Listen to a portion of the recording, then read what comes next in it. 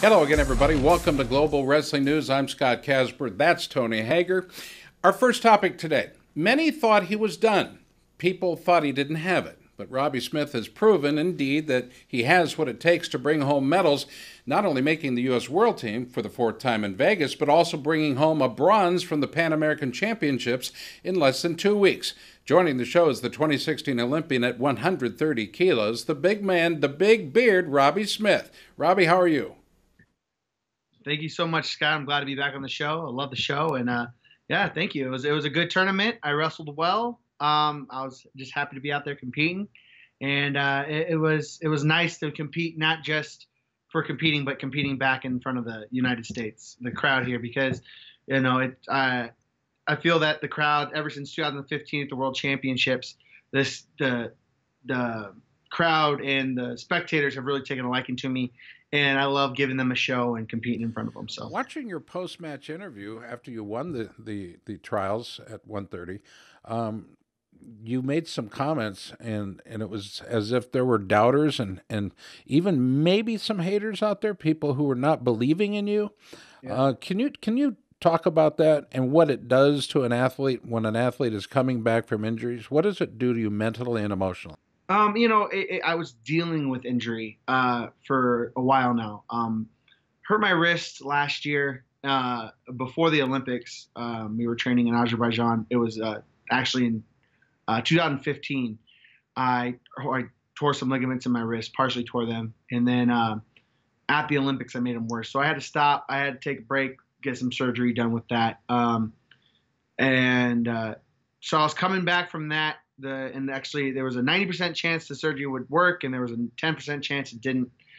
And it didn't work for me. So i was dealing i've been dealing with that um, and we're, we're on top of it now. And then uh, you know but as after i got back from dealing with my surgery i came back and i had a high ankle sprain. So then i had a high ankle sprain and um, trying to get back from that and i was in a boot for almost a month and you know, it just didn't seem like it was going to really work and, and, and start working for me again. And so it was frustrating, of course. Uh, you never, as an athlete, you just want to get back to competing and, and doing what you do best. And um, it wasn't working for me. And I was like, why is somebody trying to tell me something and all this stuff? But then, you know, healed up, started rolling again, was doing okay. Uh, I had about a month to train before Denmark uh, when I went over to Denmark and, and wrestled, and um, you know had a round robin over there. I had five matches altogether, um, and uh, I lost my first one three two, but then came back and won four in a row in a dominating fashion, and actually ended up winning the tournament. Um, so you know at, the, at, that time I, I had my wrist and my ankle, but then I tore my uh, tricep and which was messing with my flexors. So I'm like, man, is my body just getting too old? What's going on? Am I pushing myself too much? So I had to pull myself out of the next week tournament. It was in Croatia. It was the Grand Prix. So um, now I got three injuries I'm dealing with. So get back from rehabbing my tricep to going to uh, you know getting back to work, and then I tore my M- I sprained my MCL, and I was like, man, I just I just can't win. So um, but what's great about being a wrestler and what has taught me so much within wrestling is you never give up. You just keep go, pushing forward. Um, you you have to heal yourself, of course, but you're going to be okay. And it comes from my support system that I have and and uh, the people that love and care for me and, and and and help me out. So just kept pushing along. People kept telling me, you know, you I don't care even if you're 50%, you're um you're you're still the best wrestler in this country. So, you know, that's my my dad would always tell me that. He's like, I don't care if you're you're 50%, you're you only have half a body, you're still going to win. So, um, I just kept that mindset and, and kept pushing forward. But then there, with that, you still you get people that uh, doubt you. So, yeah, and um, so you know that that dealing with injury, you know, it, it makes sense for people to doubt me. Uh, plus, you know, they they call it mat rust, so they don't know, um, you know, if I'm going to be as sharp as I am. And uh, been in competition since since the Olympic Games in Rio, with the exception of the Thor Masters in Denmark, which you did remarkably well at, by the way. Uh, and and you brought that up. You made mention that perhaps people looked beyond or past your performance there in Denmark when actually it lit up our screen. Yeah, no, and and uh, people, I guess I don't know because of caliber, caliber tournament or, or what it was, but I, definitely people look past. I mean, people were saying that I've only com- I haven't competed, but I, I, have competed. That's why I went to Denmark to compete to see where I'm at and to see how I'm doing, and um, wrestled well, uh, wrestled really well, um, and beat some quality wrestlers, and uh, so you know it was I don't know. It is what it is. It's it, you. You always have the people that doubt and hate and and um, don't want to believe in you. But for me, I take that as um, as, as just fuel, and it pisses me off. And I'm. so going, uh, leaving Las Vegas, what did you take away from Vegas? You know that I it, leaving Las Vegas. Uh, well, great movie, by uh, uh, but um, I I didn't have time to really think. I, I, I actually I got home Sunday, packed my bag, uh, washed my clothes, repacked my bag, and went to Brazil for the Pan Am Championships, uh, and wrestled down there. And uh, so you know, all it just did is give me confidence, give me that you know I'm still the baddest man in this country, and um, I'm I'm I'm the best we got, and I'm you know going heading forward. Robbie, we love you so much. Appreciate you taking the time congratulations on uh, your success. And I don't ever want to call it a comeback. It was a little time off to deal with injuries and a continuation on what has become an outstanding career. Thanks for taking the time to join me in the Nike Hot Seat. Hey, Scott, this is awesome. I love being on the show, and uh, thanks for having me again. Anger affecting Robbie's choice of language. I mean, I plowed the honesty. Um, nice choice of words. And, uh, you know, Jordan Oliver, he was doubted as well. So for him to come back, make the team, some of this I think is good. You know, it's good for our sport. It's good for media to, to doubt these guys because they need somebody to keep them in check. And uh, it's paying off. All right, time for a quick timeout. Up next is Corey Cooperman. He's returned to Ithaca to coach the New York Regional Training Center. It's big news. He's next on GWN, brought to you by Pure and Clean Sport.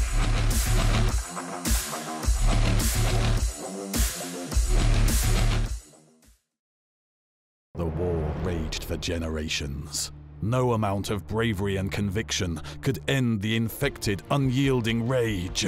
And with every battle, the evil grew, changed, evolved.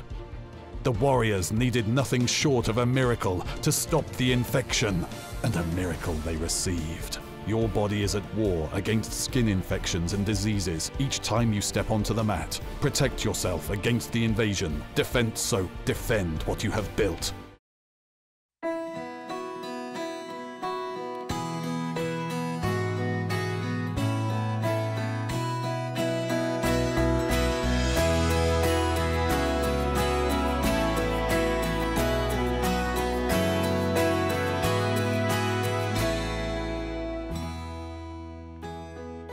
Right now, get a free 2 liter with the purchase of any large pizza. Casey's, famous for pizza. Yellow Blue wants to show you global energy demands are expanding at an alarming rate. Power grids in the U.S. are aging while coal plants continue to close at record rates. Utility rates are at an all time high and there's no end in sight. If this concerns you, call Yellow Blue, delivering products and services that are not only green, but cost effective. You can be independent, safe, and secure. We'll show you how at yellowbluetech.com.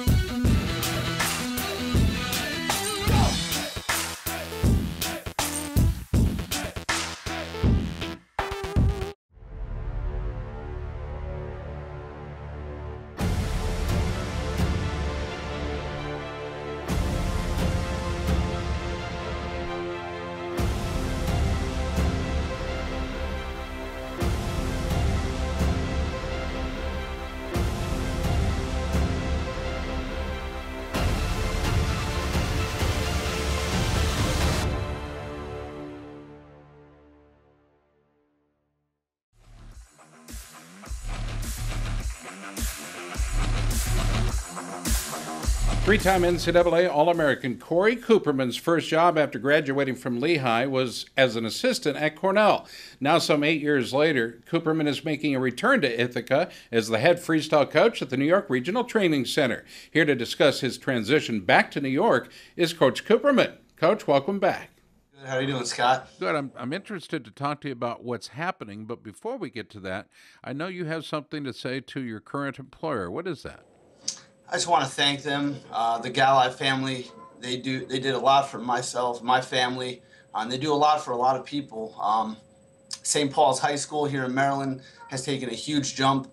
The Gallis help you know kids that wouldn't maybe be able to afford it going to a, such a prestigious school. It's a great school academically, and uh, the wrestling program's really taking off. Head coach Rob Eiter, we had John Morrison, myself, um, Les Sigman involved and a lot of good student athletes, wrestlers that, you know, Kurt McHenry, world champ, um, a lot of different guys that get the opportunity to train there.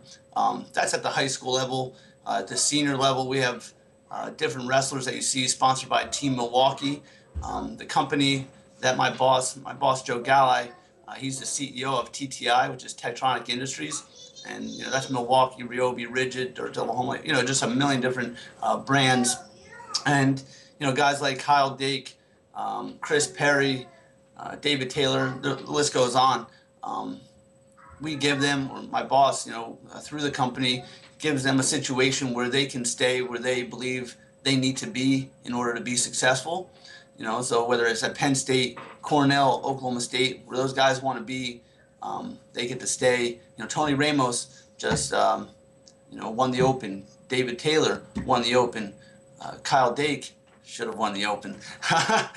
um, you know, but it gives them an opportunity. Chris Perry had a good tournament. Josh Kindig had a good tournament. It just gives those guys opportunity to train where they feel they need to be in order to be successful. So the Galli family um, just does a tremendous amount um, to help. You know, whether it's the senior level guys, you know, college level um, with coaches and athletes, and um, you know, high school, and, and, and, yeah, and they've done just a, a tremendous amount for my family.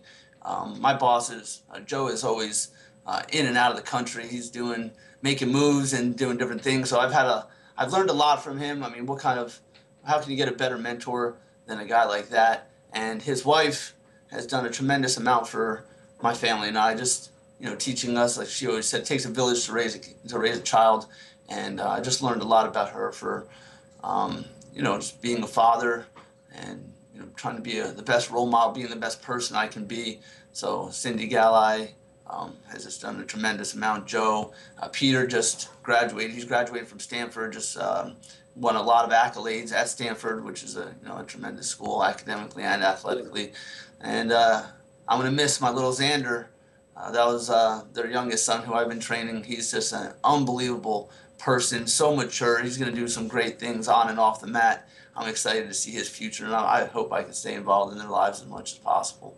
Corey Cooperman, our guest, he uh, joins us today to talk about his new job that he will be taking uh, over at the as the freestyle coach, the freestyle head coach at the Finger Lakes Wrestling Club, and uh, as that program continues to grow, you might remember Corey as one of the most sought after recruits in the country. When back uh, initially he had committed to the University of Minnesota, rethought that, decided he wanted to go to Lehigh and uh, become a truly great wrestler. You might remember the 2006 NCAA semifinals, a storybook match against Teyon Ware.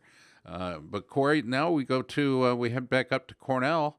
Uh, you've been there before, and now it's it's time for you and your your little family to go back up there and make an impact on the senior level guys, and then even on some of the uh, young kids that come in during the summers uh, and for camps and clinics. Talk to us about how this all came about. Um, well, coming out of uh, college, I was I knew what you know when I was younger. I knew I was going to be a coach. Um, it's just something I love to do. I always felt that I'd be a better coach than I was uh, as a wrestler, and I, I still think that is true. I think I've um, accomplished more as a coach than, than I did on the mat. Um, you know, but like I just said, Joe Galli, tremendous mentor, um, leader for, for me, just a, a, great person to have in my life. Uh, when I got out of college and was taking the job, Rob Koll.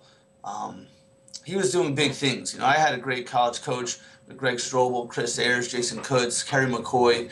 Um, and Pat Santoro for a little bit.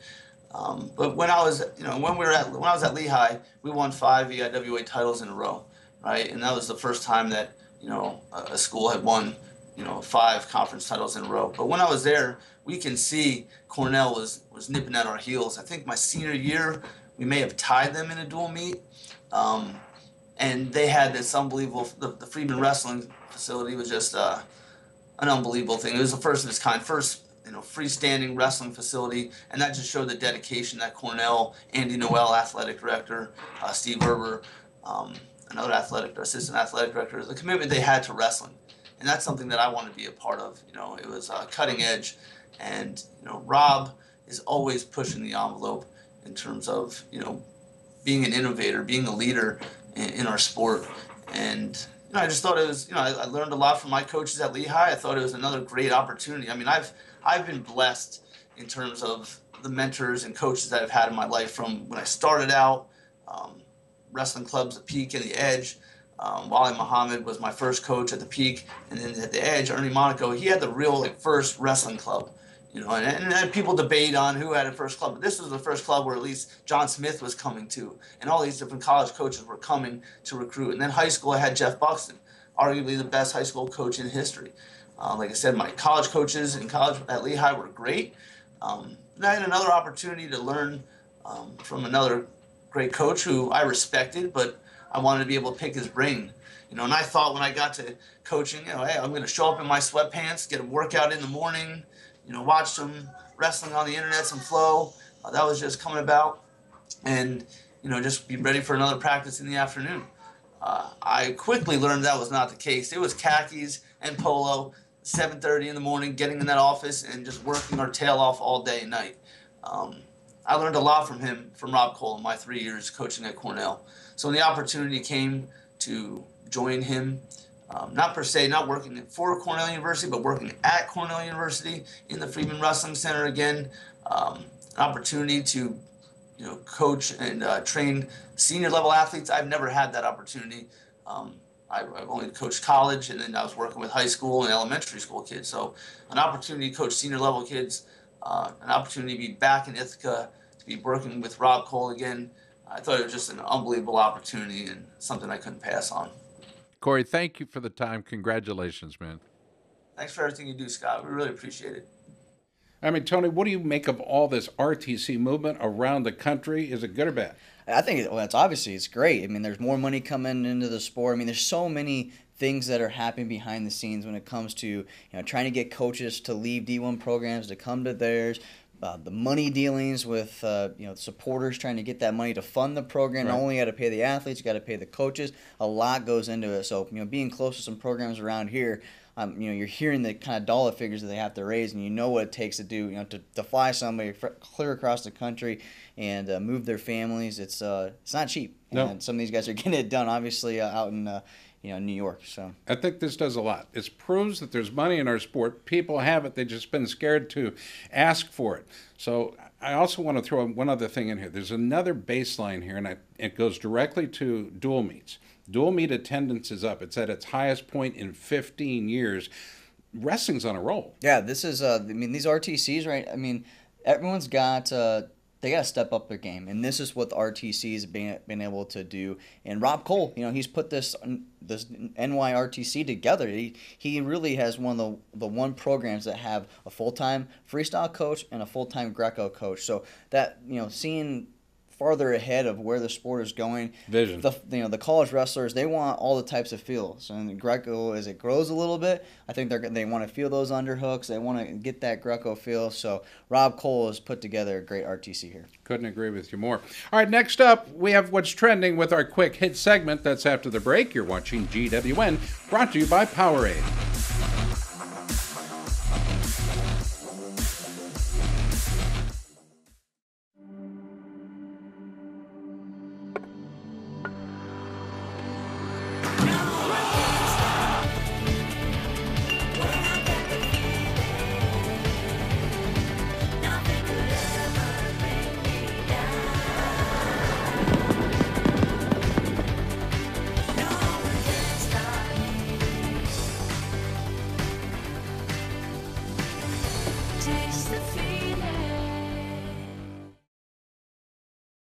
What's up, guys? I want to tell you about a new product that I am extremely excited about. It is the Pure and Clean Sports Skin Defense. It comes in a 16 ounce spray bottle and it comes in a little bitty travel size spray bottles. I have one of these, throw it in my bag, go straight to the gym. A lot of these gyms I train at, whether it be boxing, wrestling, kickboxing, grappling, strength and conditioning, it all has bacteria floating around. They all have viruses floating around. They all have fungus floating around. And the last thing you want is to get a fungus, a virus, get sick, any kind of um, any kind of wounds that are going to turn into any kind of uh, skin infections to take you off of the mat. Every single second that you spend off the mat or out of the gym is one second that you're wasting. So, Pure and Clean Sports came up with a amazing solution to give you the right amount of protection on your skin. You spray it right on your skin. Stay pure, stay clean. Checking them out.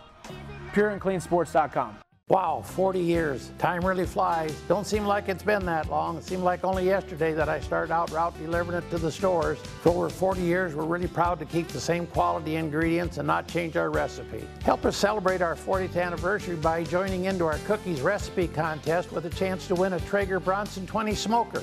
You can enter it on our Facebook page or cookiesbbq.com. Thanks for 40 years, and we'll see you in another 40 years.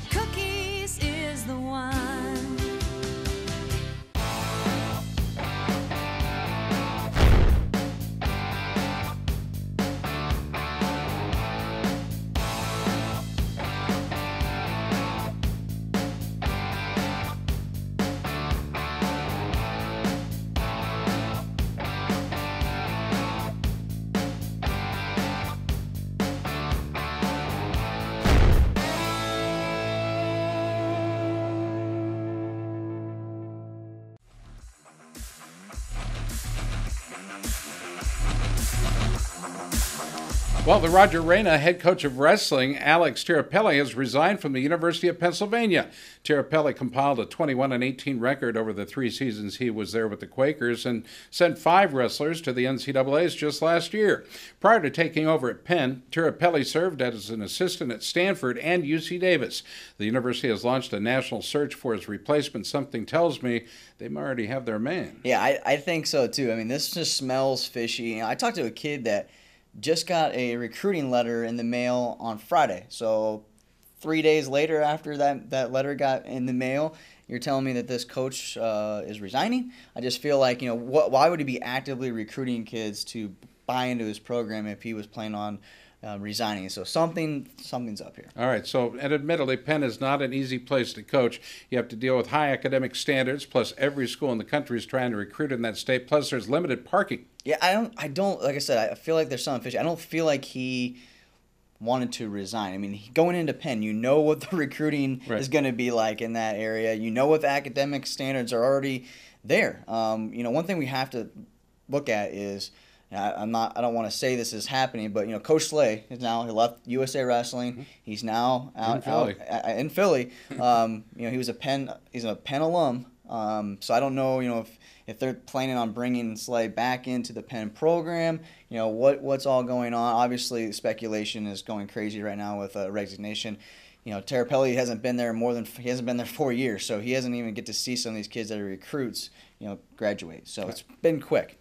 All right, since 2001, Denny Deal has been tracking dual attendance numbers from as many programs in Division One as he can possibly track. What he's found is that attendance appears, as we mentioned moments ago, at the highest levels in over a century. For the 11th year in a row, Iowa led the nation in attendance with nearly 10,000 folks at every duel. Penn State came in second with 7,000 on the average, while Ohio State was third with 5,880. In total, 19 schools reported over 1,000 fans per bout, including several untraditional powers like Army, Princeton, and South Dakota State. you know what we have to look at what really has changed in the last 10 years and how i mean i feel like our we always talk about our sports not growing but our attendance is growing and what what is the biggest difference right social media presence the, these uh, these programs are putting more dollars into that. We're streaming more events. We've been in there's more events that are streamed and on television than ever before. And there's lots of people out there saying well if you stream events it's going to take away from the tenants, it's going to take away from my gate. That's that's farther from the truth. This is proof in the pudding that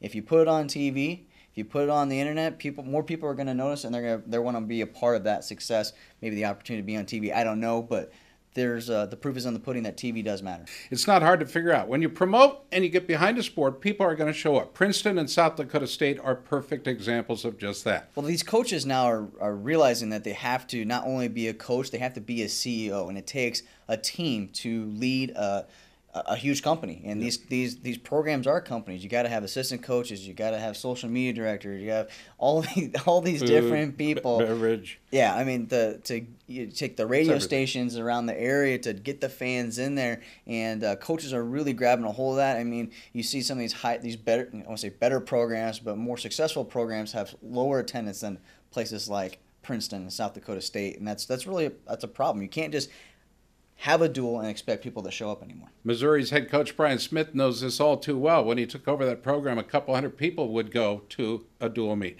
Now it's in the thousands, and recently, one of the reasons why J'den Cox well, he's been hired as the Tigers' new volunteer assistant. In addition to joining the staff, Cox will resume his freestyle career, starting with the Freestyle World Team trials on June 9th. I mean, did people really think that he was going to go into football? I think it's, I mean, it's, it's kind of a fun little debate just to think if he could do it, could he be successful? I mean, not doubting him, but right now he's probably one of the hottest wrestlers we have in our country. I mean, he he's uh, he's turned into a face of our sport. He's a singer. He's he's a poet. He's, he's a he does everything. He's a dancer, ladies man. He does he does it all. And J'den Cox is going to have no issue getting a job outside of outside of wrestling. And I think he, you know being being in the sport I think is important, but he realizes that now is his time. He'll have plenty of time to go do other other fun things. He's got goals on other sides. All right, that's all we got for this week for Tony Hager, Brad Johnson, and the Balance here in Des Moines. I'm Scott Casper. We'll see you next time for another edition of Global Wrestling News.